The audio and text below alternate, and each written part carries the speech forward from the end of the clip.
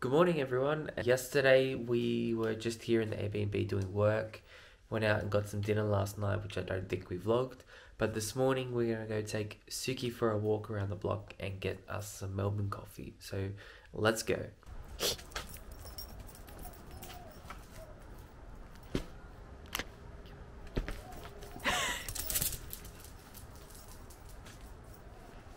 Morning zoomies time.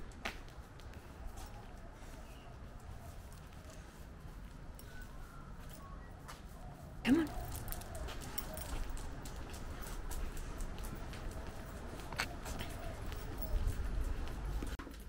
Someone started shaking, so then we had to go get her jacket. She's not used to the Melbourne weather.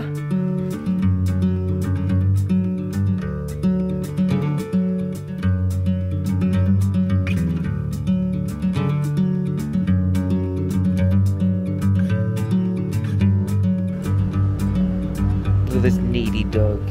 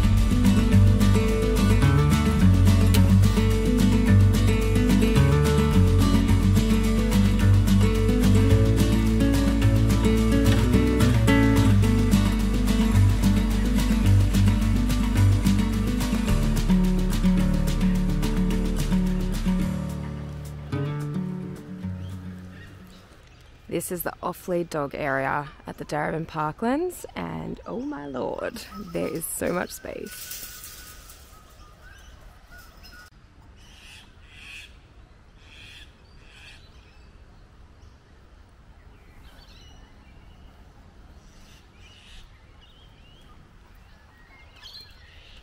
Puppy!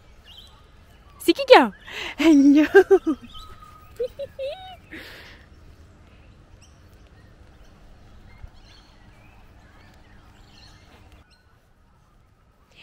Hey, go. Come, puppy.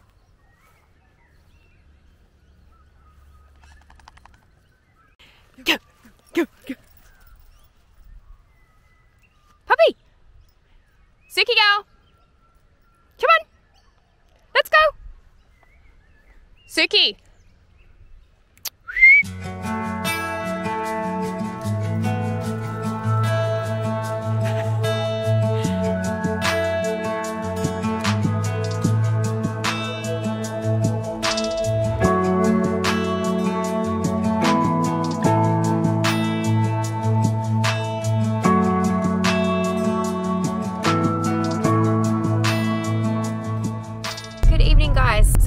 Away from our desks again today, and we have spent most of the day once again working. And yeah, we're just really wanting to get out for tonight. So now we're on our way to one of our favourite restaurants in Melbourne, and it's on Lygon Street. It's called Universal, and it's pretty much where every uni student or poor uni student, I should say, goes for a meal. And still to this day, after many years of going there, we still go there for a really reasonable feed because they have like $14 Parmesan, as I, I'm pretty sure they still are. Um, but I don't know if I'm going to get that tonight. I might go pasta, I'm not sure. But yeah, we're so excited to go out tonight because, like I said, most of our day has been spent working. Uh, you would have seen the walk that we did earlier today with Suki, and she absolutely loved that through the Darebin Parklands. But it's such a nice afternoon now in Melbourne. Apparently, it was meant to rain, but I don't know. We haven't seen much rain yet, which has been really lovely. We'll show you a little bit more of Suki at the restaurant. We've actually bought her a portable mat, so hopefully she's going to be very comfortable as she sits there. Bye.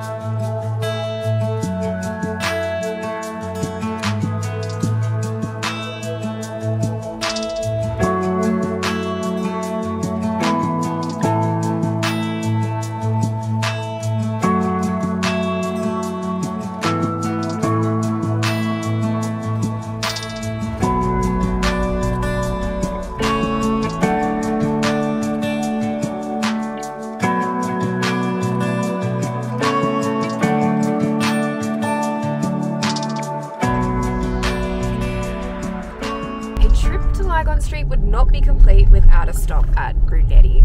And we managed to get a couple of tarts, I believe. I think Dan got a cheesecake. And I got a hot chocolate because that's just basically the tradition of walking along Lygon Street for dessert.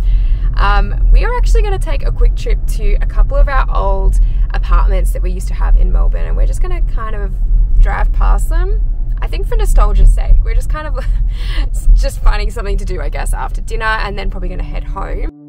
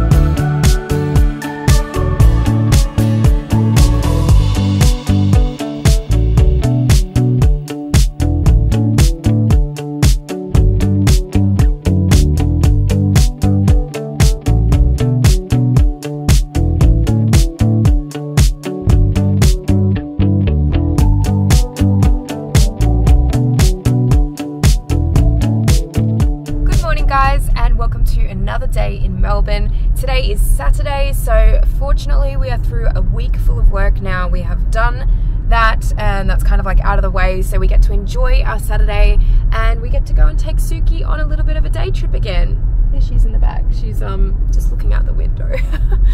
we are going to hopefully get to Olinda today, which is near the Mount Dandenong area, and there's apparently a really big dog park there. And we usually don't take Suki to parks because we have had some instances before that haven't been great. Uh, if we ever do take her to a dog park, it's usually when there's virtually no other dogs in there, or if we know the dogs um, specifically, then we're sort of happy to let her in. But uh, we just don't really feel comfortable going to a lot of dog parks these days. Uh, but we are going to take her to this old golf course that has been converted into a uh, dog friendly park.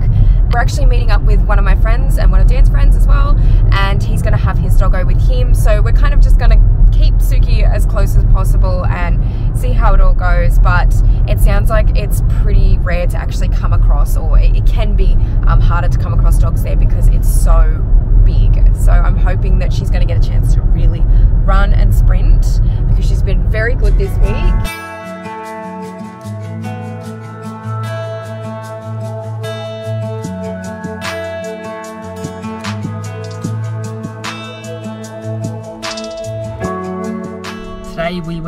To the old Olinda golf course. Uh, they've actually turned it into pretty much this big open dog park, so that was really cool. We, we met up with our friend James and his dog, and we just let Suki run wild basically. She enjoyed it so much. Now we've uh, come out to the other side um, of Melbourne to Williamstown. Williamstown is just a really cool place to come and look at the city skyline. You can see pretty much the entire city. It's just a really beautiful afternoon weather-wise, so we thought we would take our opportunity because we actually go home tomorrow morning or tomorrow afternoon maybe This morning is our last morning in Melbourne. It's been a very short and sweet trip here to Melbourne this time around with Suki, uh, but I think she's enjoyed her time here, and we definitely have. And we're a bit sad to be going home as always, uh, but we really hope that you guys have enjoyed the vlog so far. We are heading to Chapel Street now to do a little bit of shopping and maybe have a coffee before we head home because it is such a lovely day here in Melbourne. It's quite warm too. So we'll give Suki a bit of a walk And apparently, you can take your doggos into a lot of the shops on Chapel Street, which is really exciting. They have a dog friendly sticker on each of the windows. So, if you're planning on taking a pup shopping in Melbourne, this might be a really good place to do so.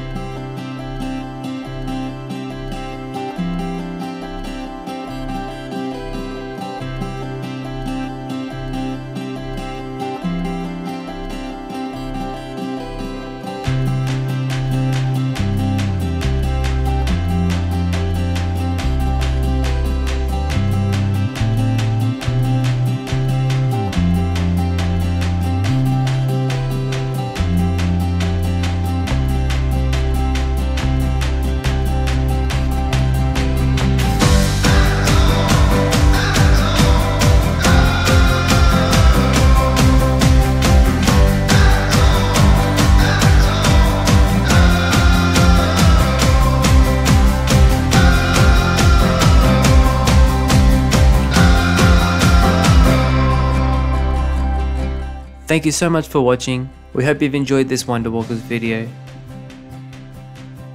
Coming up next on Wanderwalkers, we'll be heading back to Victoria to go camping in the Lakes Entrance region.